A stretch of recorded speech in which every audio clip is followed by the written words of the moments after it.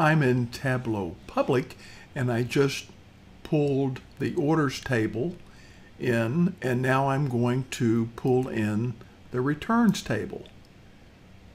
And it gives me relationships, not joins. What happened to joins? Well, they didn't go away. Relationships are better in many ways, but if you want to work with joins, just double click and that changes you to the joins table. Now when I bring in the returns table, I can select the join I want. Hope this helps.